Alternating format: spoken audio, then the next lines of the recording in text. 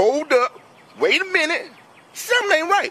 Sources tell CBS News Justice Department whistleblowers have raised concerns over the FBI's handling of Hunter Biden's investigation.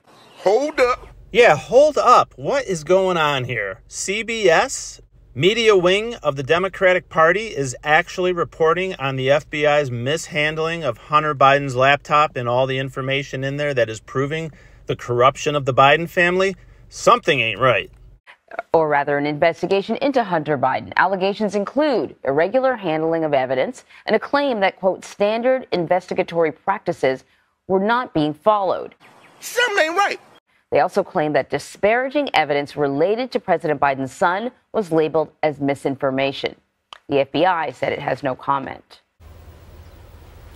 Wait a minute. Who are you?